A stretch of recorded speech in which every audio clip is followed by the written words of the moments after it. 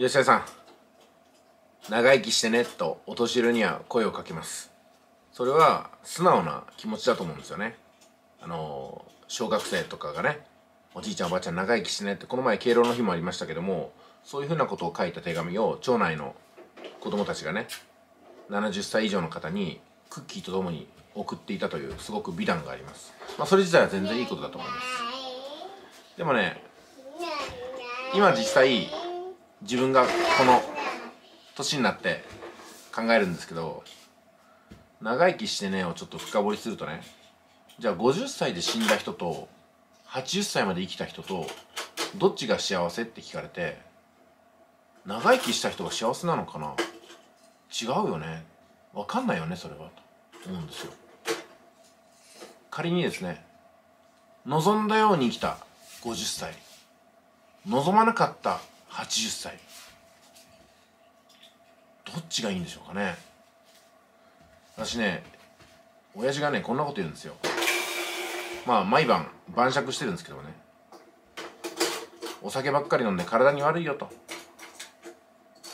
そろそろガタが来るんじゃないの？と言われて親父が答えたんですよ。好きなことを我慢して長生きしても何にも面白くねえよと。まあほんとそれでそれなんですよ。私たちは長生きするのが目的でもないですし健康になるのが目的でもないんですよ。それはあくまで手段であって人生の中でやることがなければね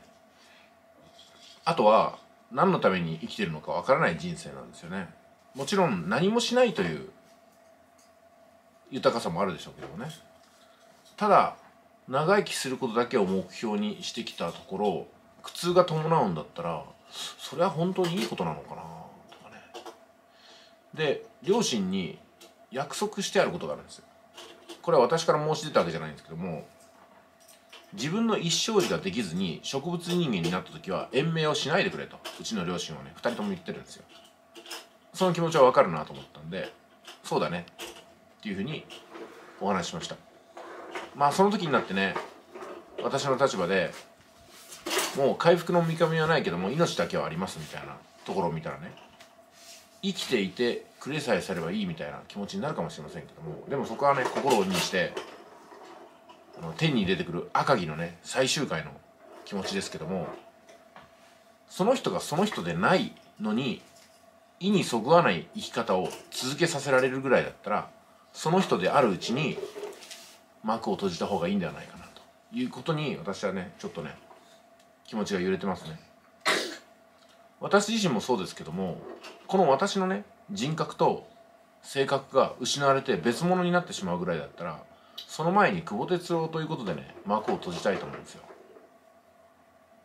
それはね吉谷さんと同じように私がね隠居して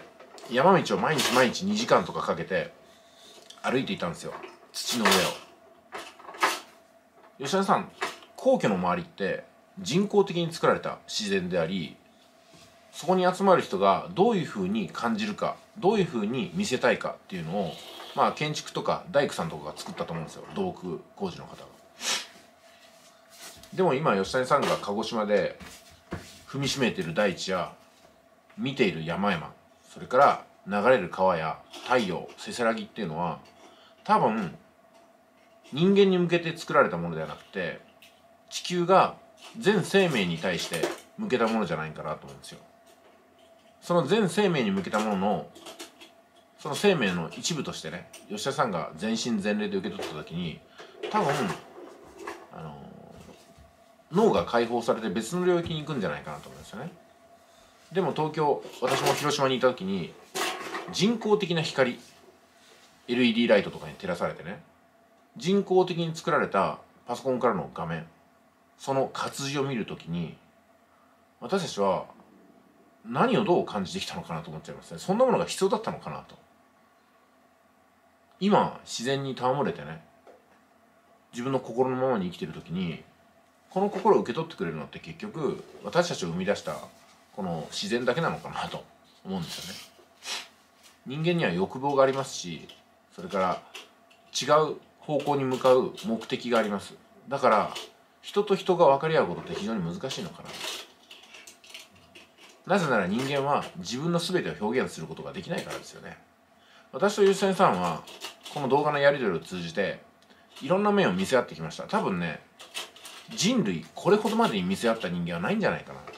これほどまでに毎日のように無数の対話を繰り返しているそんな関係を持っている